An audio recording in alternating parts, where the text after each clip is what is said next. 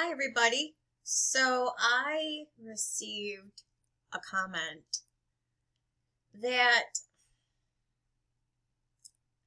I recorded a couple of videos earlier trying to find a way to discuss this that was kind, and I kind of ran out of space because I don't know that there is a kind way to address some of the stuff that is going on on YouTube.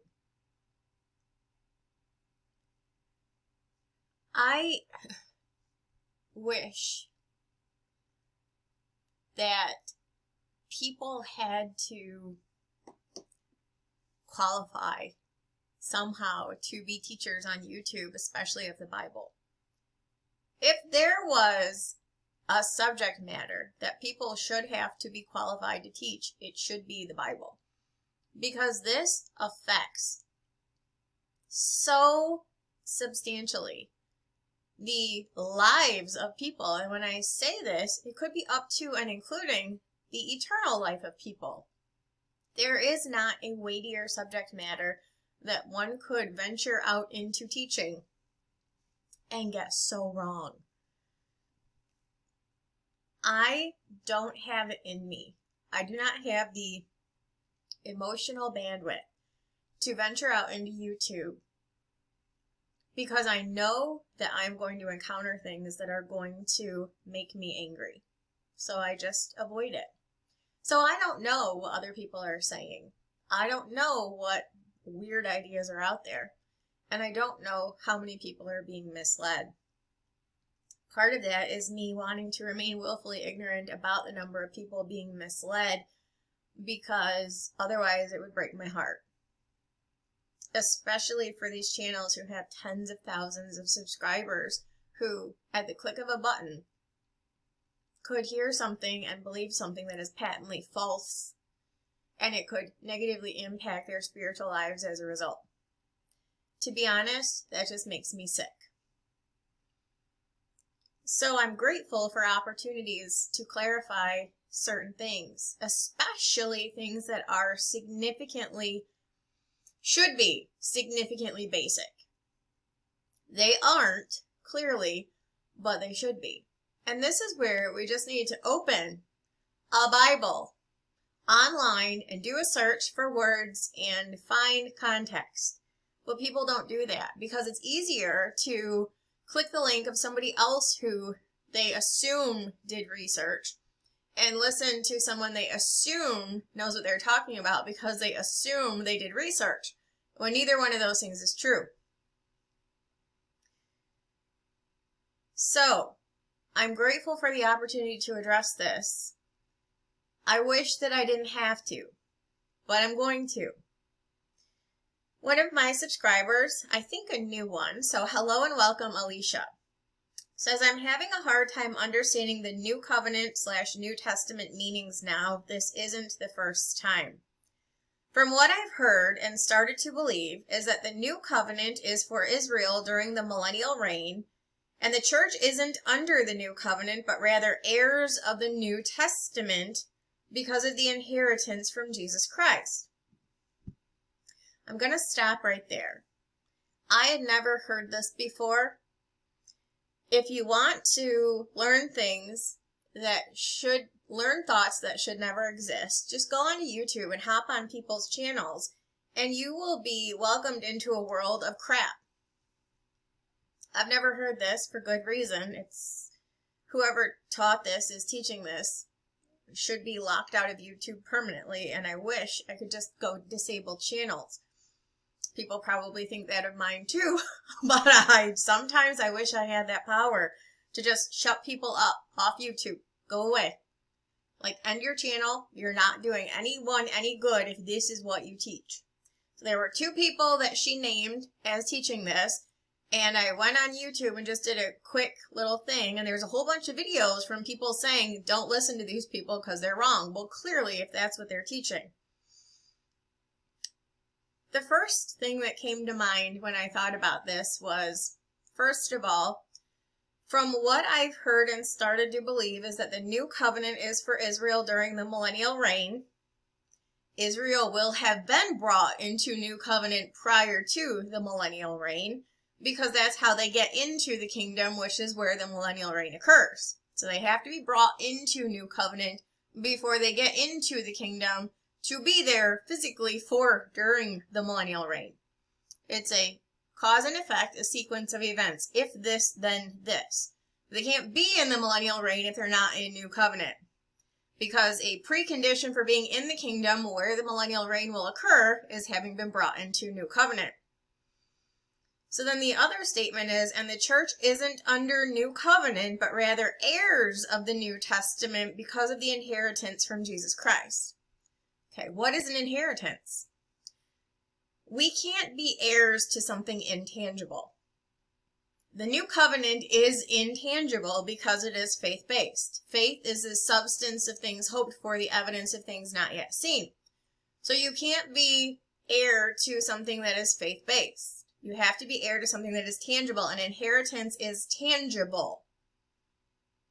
The end result of our faith is glorification, which produces a new body. That is a tangible result. That is where our eternal life is housed in our new body, which is immortal and incorruptible.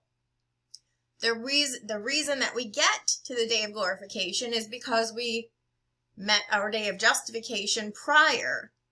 That is the day upon which we were sealed by the Holy Spirit, by grace through faith, and brought into a new covenant relationship with Christ.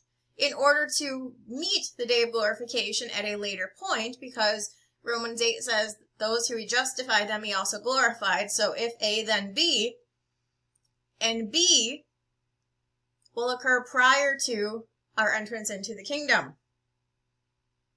The new covenant is the golden ticket into the kingdom. It does not occur in the kingdom.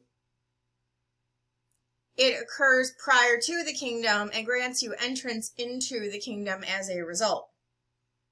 In John 10, Jesus calls himself the door. He says, I am the door. Whoever enters through him, uh, that's synonymous with going through him to get into the kingdom, the open door. It's an open door, closed door conversation. The door is shut on people who are denied access somewhere. The somewhere in view is the kingdom.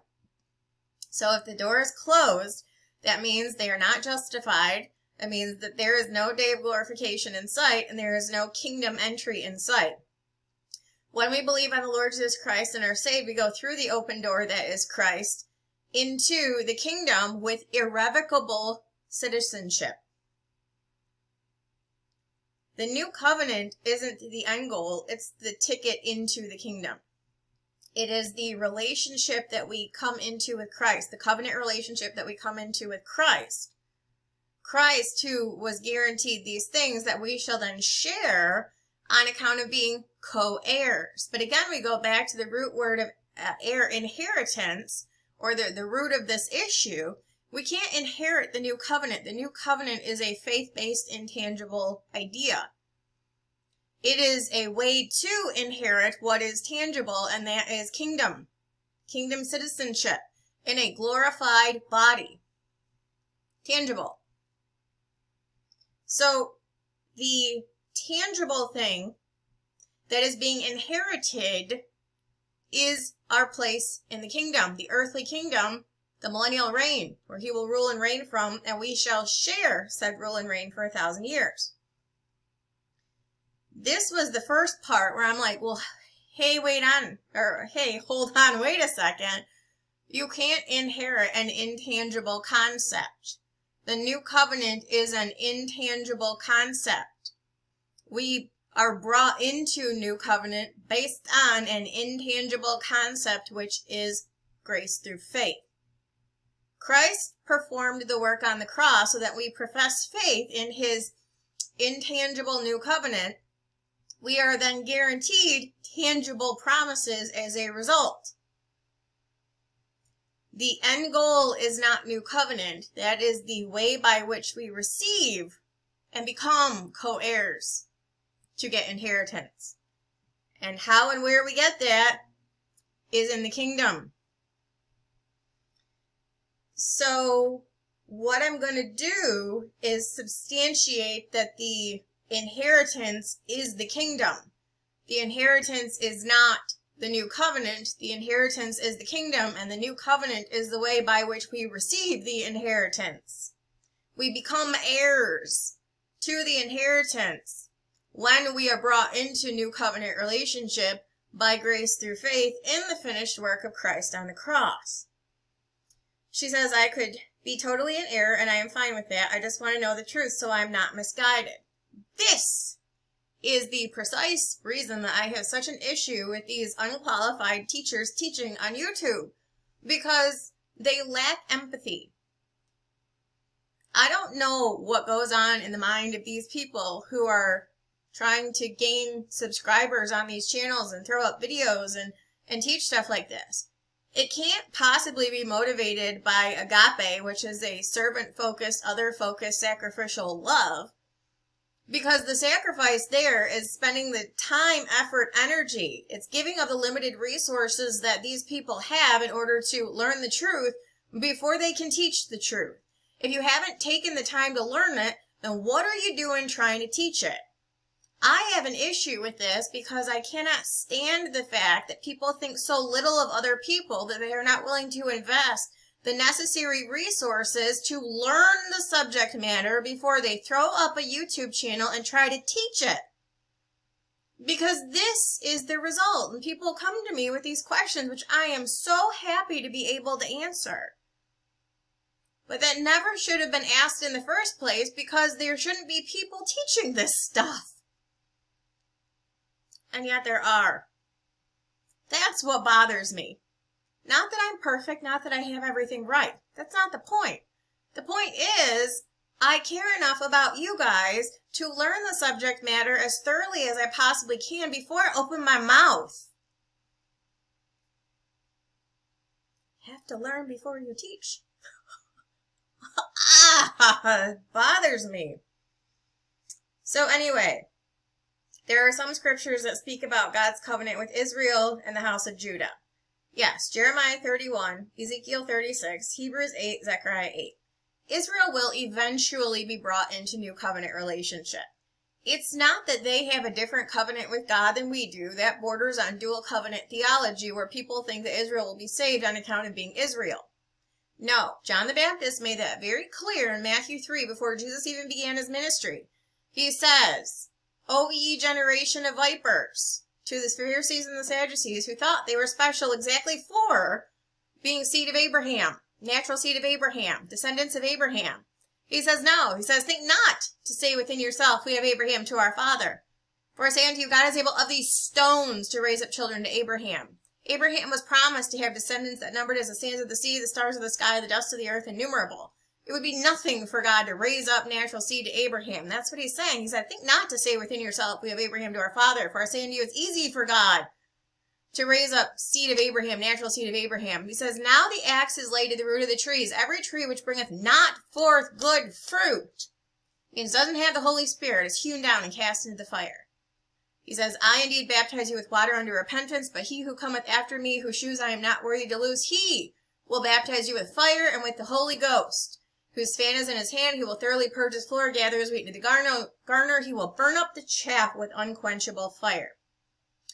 So that's talking about up and up to and including judgment day. People who are not with him, eventually meaning being brought into a new covenant relationship, are going to be excluded from the kingdom. The door will be closed to them, and they're going to wind up in the lake of fire the people who are his, who believe by grace through faith, which is what that was leading to, people professing faith in Christ, would be brought into new covenant relationship, which Israel will be during the 70th week. That is the outcome of Daniel's 70th week, is bringing a remnant of Israel to saving faith in Christ to go into the kingdom and populate it in their natural bodies. The rest of us will have been glorified prior to that point.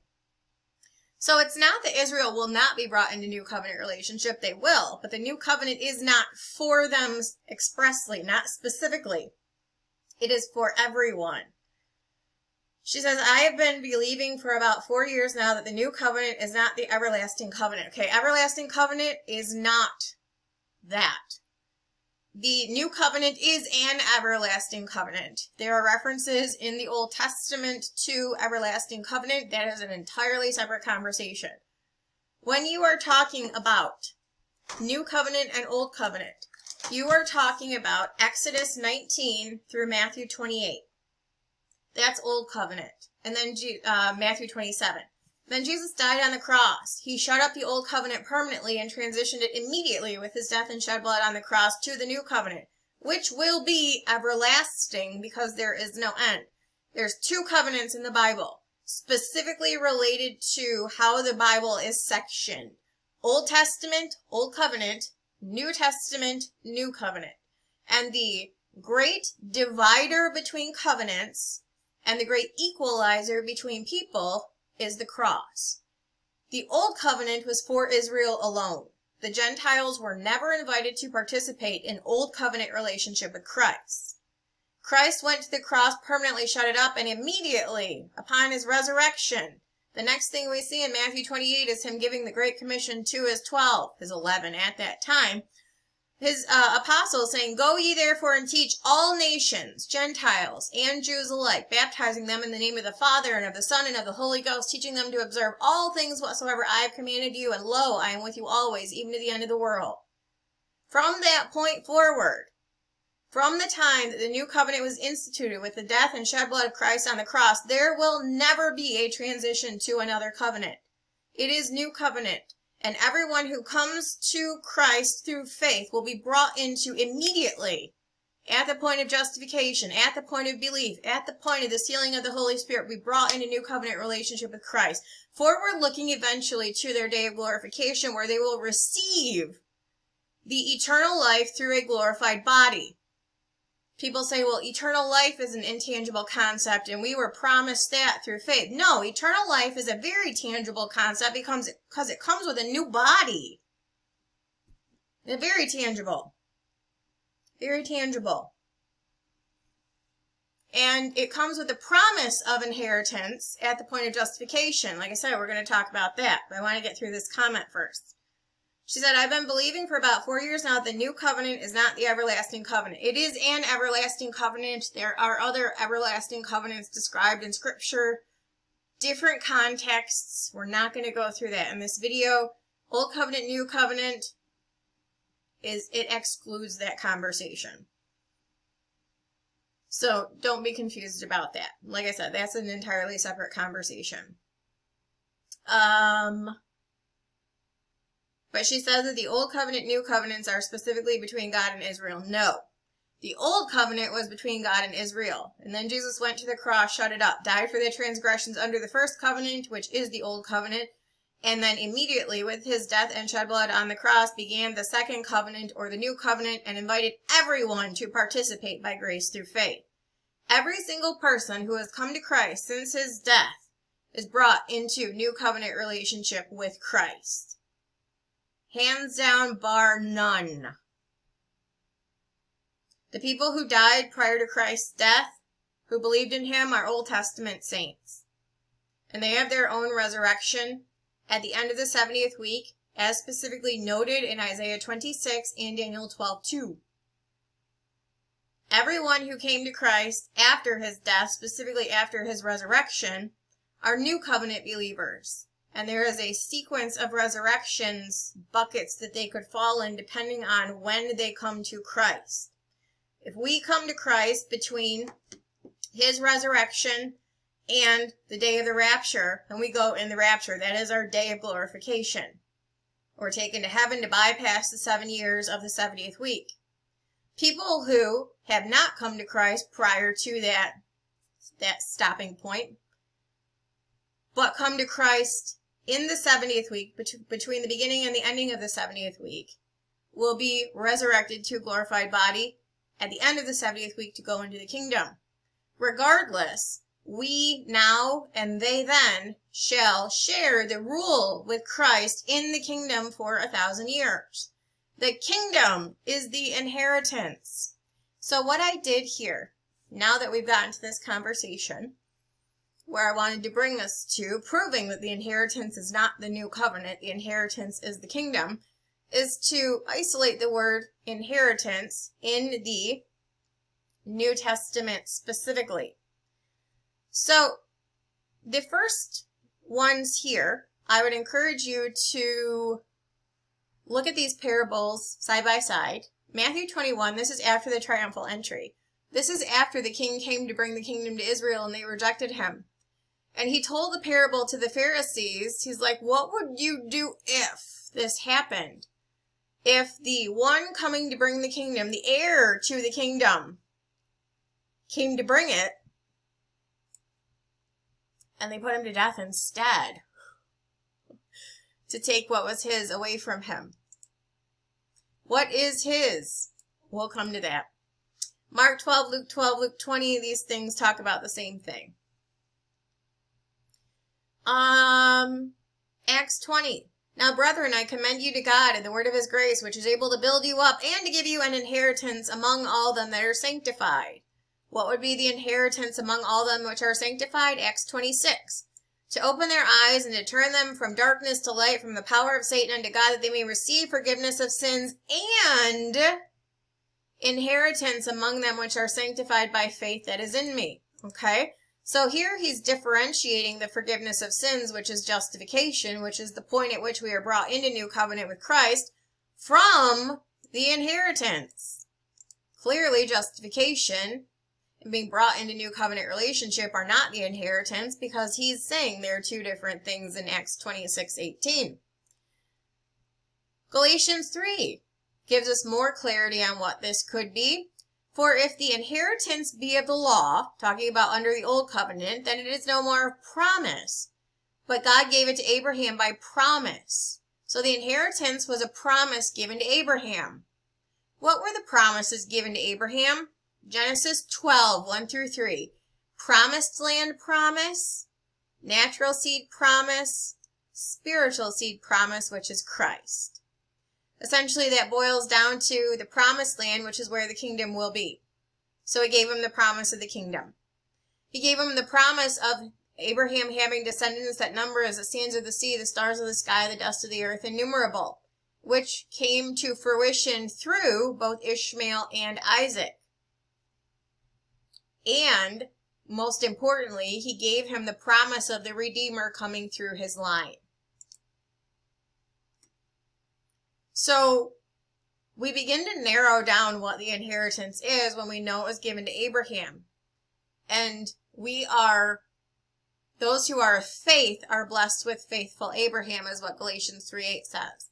So we are heirs of the promise because of our faith.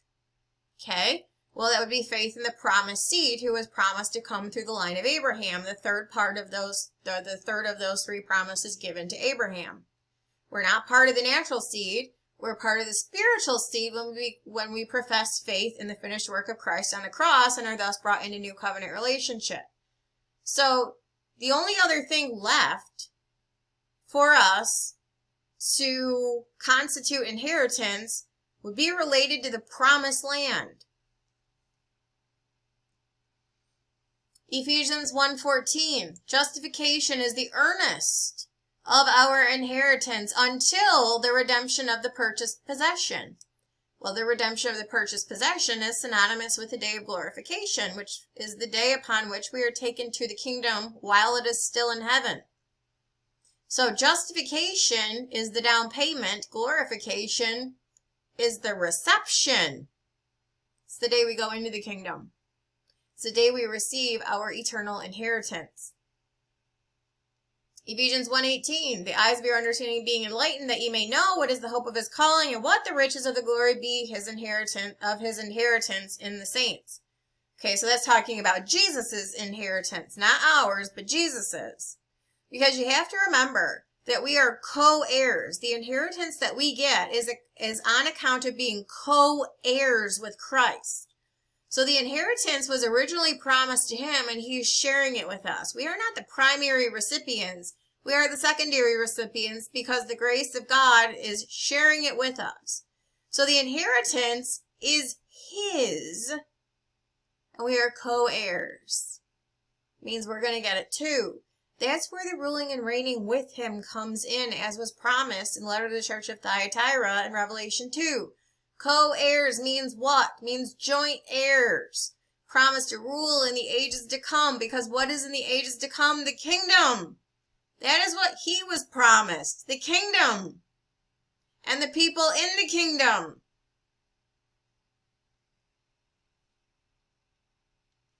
Ephesians 5.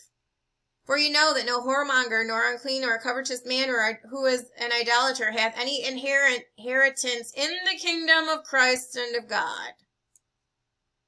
That's where inheritance comes to fruition, is in the kingdom.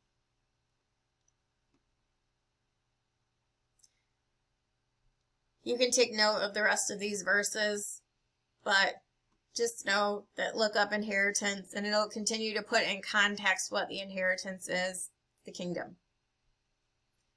James 2 5 makes this abundantly clear. Hearken, my beloved brethren, hath not God chosen the poor of this world rich in faith, and heirs of the kingdom, which he hath promised to them that love him? The promise of inheritance is not the new covenant. The new covenant is the means by which we obtain our inheritance, which is the kingdom of God. I'm going to take us through the Psalms real quick. Locate the one. Psalm 2. Ask of me, I shall give thee the heathen for thine inheritance, talking to Jesus, and the uttermost parts of the earth for thy possession. What's his inheritance?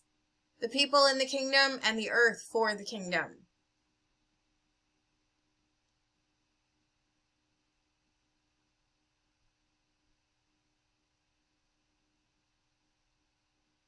Uh, where am I looking? Sorry, I just... Psalm 94, 14. For the Lord will not cast off his people, talking about Israel, neither will he forsake his inheritance. That's saying the same thing twice. Saying unto thee, I will give the land of Canaan, the lot of your inheritance. The promised land, promised to Abraham, that those who are of faith will participate, partake of on account of being blessed with faithful Abraham.